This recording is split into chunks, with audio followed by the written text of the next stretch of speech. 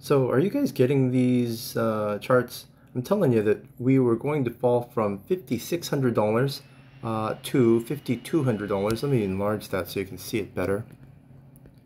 Oh, there you go. Come on, grow, grow.